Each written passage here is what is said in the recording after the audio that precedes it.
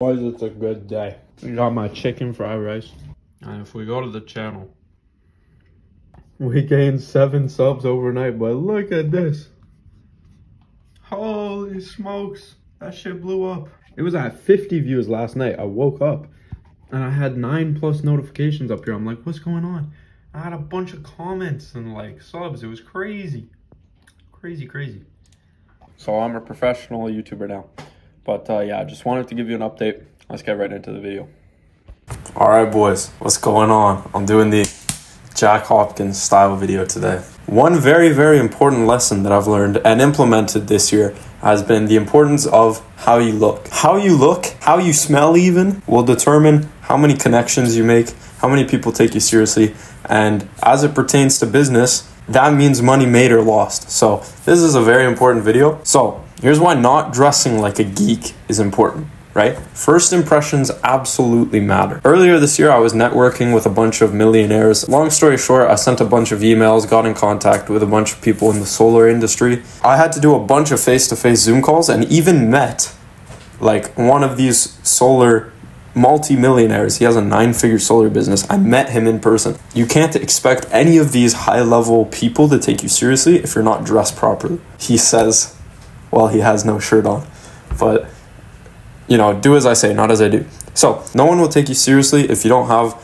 a nice, crisp outfit on, if you're not looking good in a suit. Prime example, I have a landscaping business. If I pull up to a job site and I don't have, you know, a nice clean shirt, it's all covered in dirt, I can lose money on that, right? I've gotten the feeling from a lot of clients that people just didn't like me on the first time they saw me.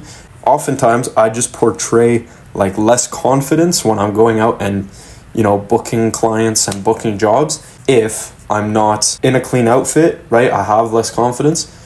They have less confidence in me because I don't look professional. So no one takes you seriously if you don't look good. Reason number three, more confidence, like I already said. Dress good, look good, feel good, close more deals, make more money, better life, etc.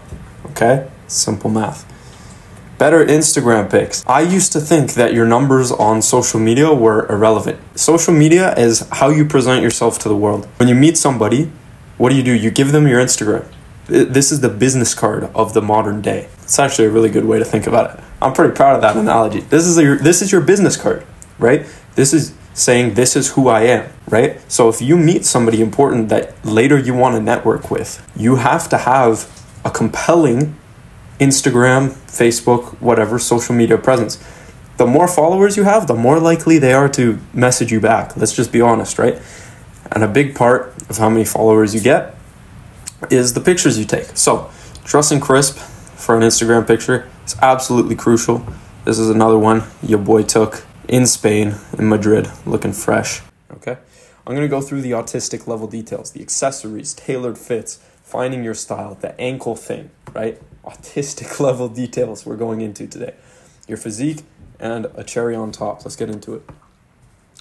What I've learned, all right, accessories, exhibit A are like the number one way to gain the respect of dudes. Chains, rings, not so much important, but a nice watch, when you go for a handshake, right? If you go for a business meeting, if you go to meet clients, whatever, you give them a handshake, the first thing they see is your watch, right? Watches turn dudes on. Let's be honest. If you're straight, you like a good watch. So get a nice watch. It's not expensive. This one, it looks like a Patek, but it was like 30 bucks on Facebook just something that catches their eye, right? I was selling my truck the other day, as you might have seen in a previous video. And the guy who actually ended up buying it, he said, after he shook my hand, he said, What's that piece? Right? As if it's like some fucking fancy ass watch. And I was like, I told them the truth, like it's it's inexpensive, but the point is it's a conversation starter for people with money. Because people with money know about watches. If you have a nice watch on and you go handshake Mr. Andrew Tate over here, he's to say, ah, that's an AP. It's a conversation starter. Just trust me on this one. Watches, very sick. Good investment. Pay to upgrade your image. You'll feel better. You'll look better. Great conversation starter with businessmen. This next point chains are stupid. Okay, no self respecting businessman wears chains. The only reason I'm wearing a chain is because I'm looking good, got my got the tarp off. Okay, at the beach, chains are acceptable. But if you go to a business meeting and you're wearing your bling and all this fancy shit, no one's taking you seriously, right? Go back to this guy. Is he wearing a chain? No, he's got a bow tie. He's sophisticated, right? Sophistication is the name of the game. Sophistication. You want the people with money to take you seriously, so you dress like the people with money. Sunglasses can absolutely make or break an outfit, but if you want to look a bit older, sunglasses are a great way to go. Um, again, they play into the whole sophistication thing, so use them with caution. Consult an expert. All right, tailored fits. I'm gonna move quickly through this one. Tailors exist for a reason. Get your jeans tailored. Doesn't have to be a suit, right? You don't have to be looking like Mr. James Bond over here. Although it will help you if you do. Yeah, get your jeans tailored. You know, if you have a particular shirt, um, a particular nice shirt that you're gonna wear to a business meeting, have it tailored, right? My friend, someone I know, is actually going to meet a billionaire um, for a consulting project through an organization that he knows. And he's buying two tailored suits, right? Because intrinsically, you know, if you go to meet someone of value who you're going to ask something for, who you're going to pitch, right? Business, you got to look fucking good. So go get yourself a suit, go tailor your jeans, and even like imagine you're sitting at the airport, right? and you're in a nice tailored suit. You're in the business lounge, sitting there like an amateur with your Nike hoodie on. No one's coming to talk to you. But again, if you take all the points from the previous slides, you got a tailored suit, you're looking good, you got a nice watch on, there's no way you don't make a connection or two. You might have to go introduce yourself, but you might walk away with a phone number or two. This is a quote I'm pretty proud of. I think I made this up. All right, I haven't heard anyone else say it, but dress where you want to be, not where you are. Okay? So if you want to be a multimillionaire, dress like a multimillionaire, right? If you want to be a successful business person, dress like one. Let me ask you something. Would a multimillionaire be looking like my guy on the left? Or would he be looking like my guy on the right? Which one do you think has more money? Just at first glance, which one has more money? We know nothing about them, know nothing about their lives, what they do. But first glance, who has more money? The guy on the left. The guy on the left obviously has more money, right? He's got a nice haircut, sunglasses, nice watch on. He's taking my advice. He's probably seen this video. He's looking good. He, he you know, his shirts, his his whole fit's probably tailored. You think he has more money? Let me put you in a thought experiment.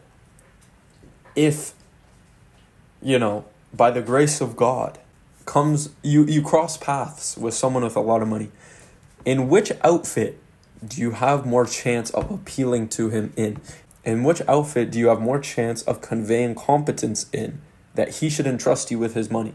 You can't unsee it. Style matters. Dress where you want to be, but do what makes you feel good, right? Like if you're closing deals in this outfit, then more power to you. Don't change what's not broken. The ankle thing. The ankle thing, bro. You can't unsee it. Once you've seen it, if you tailor your fit to where like just the ankle is showing, and you have some nice dress shoes, somehow your your score out of 10 just goes through the fucking roof. I guarantee you this guy fucks. The amount of ankle showing is directly correlated with how much money you make. But in all seriousness, right? This is like the importance of getting your outfit tailored because this guy's looking good. All right, physique. You don't have to be as voluptuous and strong as me or The Rock or Chris Hemsworth or this guy. But the more muscle you have, usually the better you look. You're always gonna look better in a suit if you're deezed, right? Men respect men and not boys. So if you're looking like a skinny motherfucker, even if you're wearing a suit, you will garner more respect from men if you're big and strong. It's just the way it is. When I go and meet, you know, clients for landscaping clients for my business in landscaping or, you know, one to one calls online for marketing. The guys who have thick ass beards, thick necks, and are fucking built like tree trunks, those are the guys I'm a little more cautious in my negotiation. Whereas the smaller guys, who I know I could fuck up with one head kick, I'm a little more ballsy and forward in my negotiation and how I navigate those sort of business encounters, right? It's just the nature of men. So get strong, hit the gym, get big. Being big absolutely will not hurt you in business, but being small might. You might get walked all over.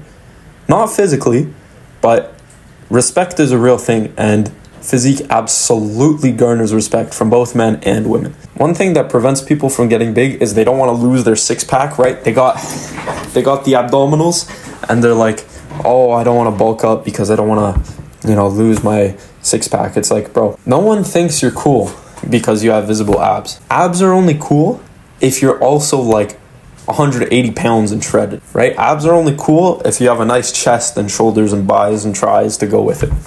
Otherwise, you're just skinny. Now, the cherry on top. I've only recently discovered this, but cologne is huge. There was a study like 97% of women think cologne is sexy. So you need some cologne. Not just to network with women, but imagine you have a business meeting, or imagine you were supposed to meet your future wife one day, right? God intended it that you're supposed to close a deal in your business or you're supposed to meet that special someone and you just stank. You just stank that day. You're losing the deal, boys. You're losing the deal. You're you're fumbling the bag. Just get yourself a nice little bottle of cologne, just squirt squirt in the morning, right?